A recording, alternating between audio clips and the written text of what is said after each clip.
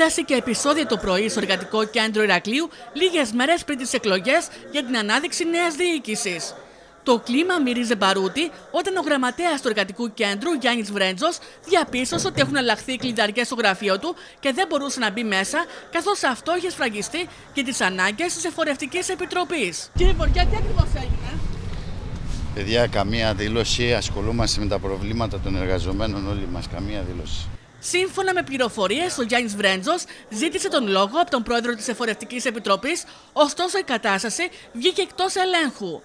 Στο σημείο έσπευσε ο Στέλιος Βοριάς, ενώ ακολούθησαν σκηνές έντασης, φωνές, προπυλακισμοί αλλά και απειλές. Από ό,τι έμαθα αυτό που έγινε είναι πως αλλάξανε την κλειδαριά στο γραφείο του γραμματέα. Ο γραμματέας δεν μπορούσε να μπει μέσα στο γραφείο και ουσιαστικά εκεί δημιουργήθηκε μια ένταση από τον πρόεδρο και τον γραμματέα που ήταν μέχρι πρώτη στην ίδια παράταξη.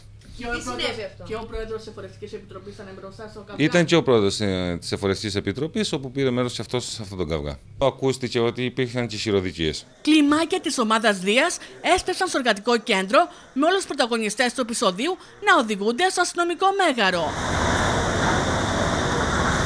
Τα επεισόδια καταδικάζει η δημοκρατική αγωνιστική συνεργασία με τον Γιάννη Γωνιανάκη να κάνει λόγο για εικόνες που δεν τιμούν την εργατική τάξη. Αυτό που συνέβη σήμερα επιβεβαιώνει όσα αυτά που κατάγγελε το προηγούμενο διάστημα η Δημοκρατική Αγωνιστική Συνεργασία. Ουσιαστικά εδώ ομάδες για τις καρέκλες τσακώνονται. Βάσει και του καταστατικού του εργατικού κέντρου, από τη στιγμή που εκλέγεται η φορευτική, αυτή αναλαμβάνει τα καθήκοντα όλης της διοίκησης. Βέβαια, η διοίκηση υπάρχει ακόμη. Ναι. Η διοίκηση, ο πρόεδρος, ο γραμματέας και τα άλλα μέλης της διοίκησης.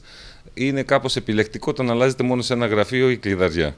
Τελικά τα στελέχη του εργατικού κέντρου τα βρήκαν μεταξύ τους, αποχωρώντας απογοητευμένα από το αστυνομικό μέγαρο, χωρίς προηγουμένως να προβούν σε μηνύσεις. Σε δήλωσή τους στο πόρταλ Νέα Κρήτη, ο Γιάννης Βρέντζος δήλωσε ότι θα κατέβει με δικό του ψηφοδέλτιο στις εκλογές.